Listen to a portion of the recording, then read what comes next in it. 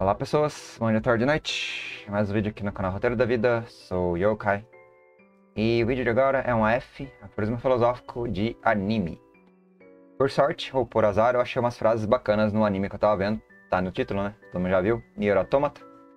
É, Nier Automata tem uma continuação do nome, né? Você pode chamar de Nier, Nier Automata versão, ou ver, 1.1a. Esse 1.1a e esse ver eu não sei o motivo. Eu não pesquisei mas talvez seja para diferenciar do jogo, né, para não ficar igual, para não dar confusão. Mas adapta o jogo, né, a história do jogo. O jogo, aliás, é muito, muito bom e o anime também é muito, muito, muito bom. Eu vou fazer review dele depois. Mas antes de fazer review, pegar uma frase, né, que eu achei no anime, num episódio só, acho que eu achei três frases num episódio só. É um dos últimos episódios. E eu vi, assim, eu vi de primeiro e falei, cara, interessante, dá pra fazer F. Mas ao mesmo tempo também foi meio forçado, porque eu precisava de frase para fazer a F. Então não sei se as frases são sinceramente. É, assim, se elas fluem muito bem, tá? Espero que o lag na câmera e a sincronia da voz também não fez, seja muito grave, né? Mas tá meio sincronizado pelo que eu percebi. Tá com. travando, né? Mas eu vou comprar uma webcam, acho que esse mês, enfim, uma nova, né? Mas a frase da vez, então, na verdade, primeiramente mostrar o... a imagem em questão, né? Esse é o Adão é o personagem que fala a frase no episódio 9, tá? O Adão, ele é uma entidade autoconsciente que criou vida a partir das máquinas. Era um monte de máquina, tipo, próxima a IA, se juntaram, né? Em uma colônia de máquinas que foi criando... Ups, né, pra mostrar.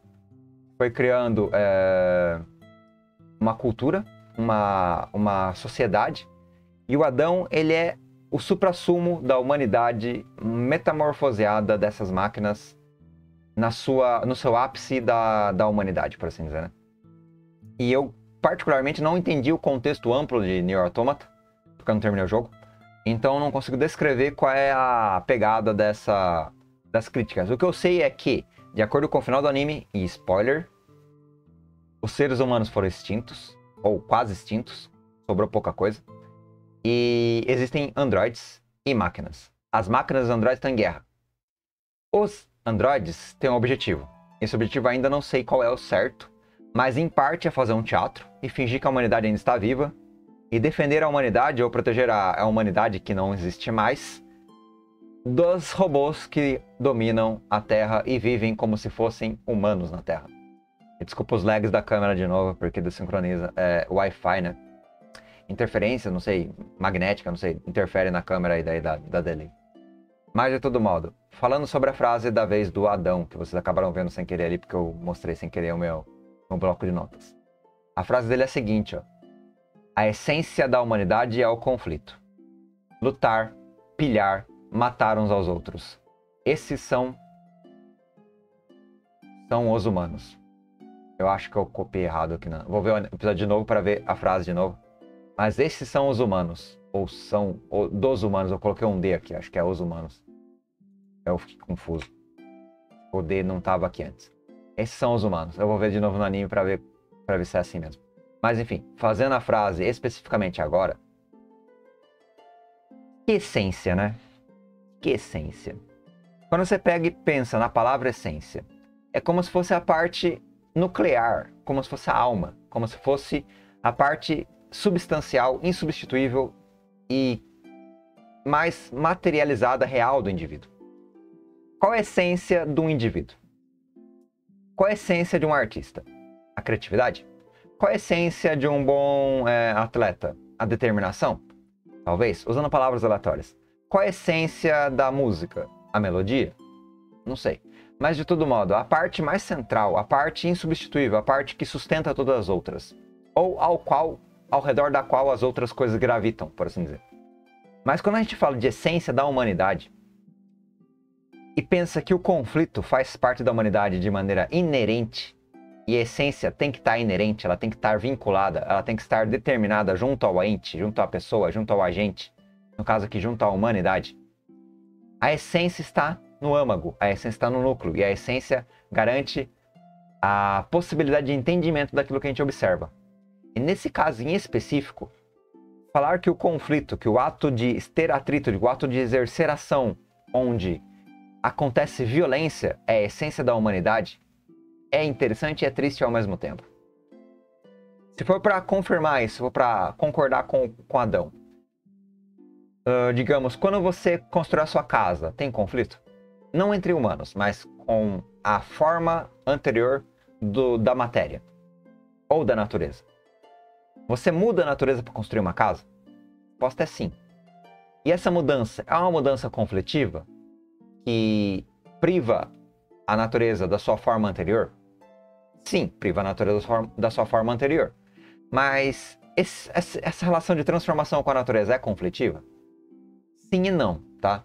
Mas quando você pensa no sentido sobrevivência, que é alimentação mesmo, o conflito é real. Porque você caça, você mata, você planta, você manipula, você doutrina, você controla, você determina a realidade. Você usa aquilo como uma ferramenta de sobrevivência e subsistência. Ferramenta humana, cultural humana. Então você está em conflito com a morte, está em conflito com a carência, está em conflito com a impermanência, está em conflito com a existência, está em conflito com a natureza, está em conflito com a sua própria finitude, por assim dizer? Então, nesse sentido, é um conflito. Quando eu estou pensando em pensamentos conceituais, dar verdades e palavras para as coisas, dar significado para as coisas, é conflitivo? Sim, porque quando você dá sentido para as coisas, esse sentido ele tem um impacto, ele tem um significado, ele tem uma orientação. E a orientação determina o como você entende o mundo ou como o mundo pode ser utilizado pela coletividade. Então, esses conceitos, essa linguagem, essa, essa determinação intelectual, moral ou mesmo linguística do mundo, também geram conflito.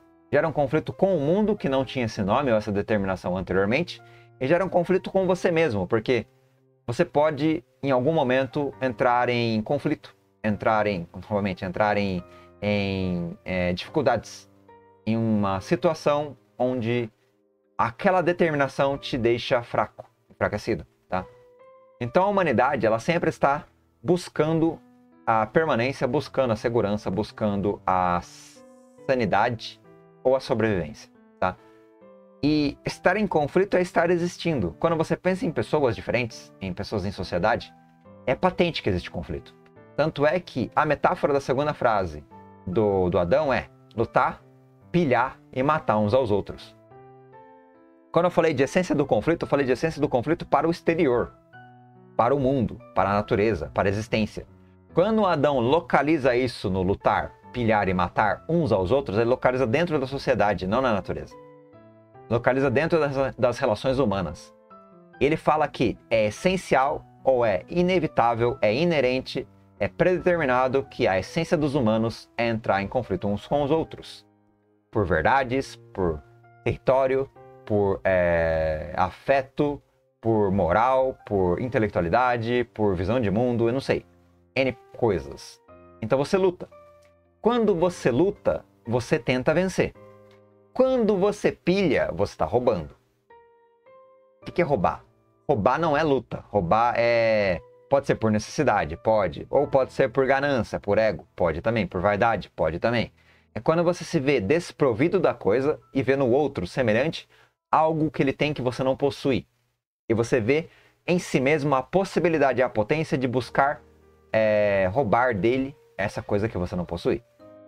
Pilhar, saquear é, tirar do outro, ou mesmo aniquilar o outro e pegar para si aquilo que era do outro, é, é uma regra de conflito. É você em estado de natureza bruta, sendo uma besta violenta, que vê no outro algo desumanizado, vê no outro algo descartável, vê nas posses ou no brilho específico daquilo que ele está, nesse caso, é, defendendo ou cultuando, ou mesmo sendo dono dela, na posse da matéria, posse do objeto a posse do sistema, a posse do território, não sei, a posse de alguma coisa. Você vê no outro algo que pode ser roubado, algo que pode ser trazido para sua para sua guarda, né? E você pode roubar. E se a sua essência é conflito, a palavra pilhar é inerente à sua essência, que é você tomar aquilo que você deseja, tá? Claro que tem regulações sociais, regulações de camadas sociais, como a justiça, é, o judiciário como um todo, o livro de Constituição, as regras de conduta, deveres, entre outras coisas. Mas tudo isso é secundário, porque a essência sempre é o conflito. E a própria arte da punição, que é a arte da justiça, é uma arte que pilha do outro, rouba do outro coisas. Se você é uma pessoa que cometeu um crime, vão te roubar a liberdade, vão te roubar o destino, vão te roubar as potências, vão te roubar várias coisas. Então você está pilhando outro? Sim. Você está lutando contra outro? Também está lutando contra outro. Porque a justiça, o monopólio da violência, é mais forte do que o outro e vence o outro. Se você vence o criminoso e prende ele, e julga ele, e prende ele, você pilha ele, rouba dele, tá que não tem um ganho individual, mas tem um ganho social, porque ele talvez fosse um criminoso violento tal. Talvez ele nem fosse violento, fosse apenas desregulado. E o roubar não seja benéfico para a sociedade, mas sim apenas maléfico e punitivo para ele. É apenas ele que sofre, ele é apenas o, a vítima, nesse sentido. Mesmo sendo um criminoso, depois do julgamento, o julgamento acaba tornando ele vítima. Por quê? Porque ele foi roubado e derrotado. E a derrota final é a morte, obviamente. A morte é o quê? Tirar tudo da pessoa. A, ma a matar um outro indivíduo, matar um outro devido à ganância ou devido à, à propagação de valores, a propagação de ideais, a propagação de ideologias, ou apenas a desejos egoístas mesmo de, de matar o outro devido à vontade particular individual. Junto à sociedade, junto ao contexto de conflito, junto à essência que é dita pelo Adão, que é o conflito, que é o conflito, que é a essência da humanidade, nesse âmbito onde ele amarra a luta, a pilhagem e o assassinato, junto ao que a gente entende por história humana, ele está falando coisas fatos, coisas fatídicas, coisas que aconteceram e que acontecem ainda. Claro que acontecem ainda com uma outra roupagem, com outro significado, com outras outros valores. Prender o outro, é, punir o outro segundo a lei é a mesma coisa que pilhar e roubar. E por vezes você mata não literalmente, mas mata subjetivamente. Mata no sentido, por vezes, não biologicamente, mas mata no sentido de privar o outro da possibilidade, da potência, da existência, né? Que é aprender, né, no caso. Então, sim, existe uma agressão. E sim, existe uma vontade. E sim, essa vontade é uma reutilização, uma repaginação, um remodelamento da vontade mais bestial, humana, que aparentemente, de acordo com Adão, né, não sei se é isso mesmo, a gente está debatendo isso aqui, eu estou debatendo isso aqui, colocando em, em, em pauta, que é talvez a essência da humanidade, de acordo com Adão, possa ser essa do conflito. E o conflito se desdobre em violência nas lutas, violência na pilhagem e violência na, no assassinato né, do outro. E esses são os humanos. Por que, que esses são os humanos? Porque a humanidade é exatamente isso. É exatamente essa determinação. É essa sobrevivência. É essa brutalidade.